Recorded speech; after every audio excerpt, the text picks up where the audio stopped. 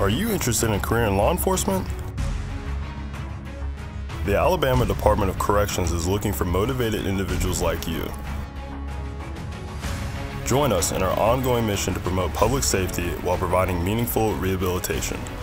With a clear career path and extremely competitive benefits, you can make the choice to join us and make a solid choice for your tomorrow. Visit adocjobs.us today to begin your future in public safety.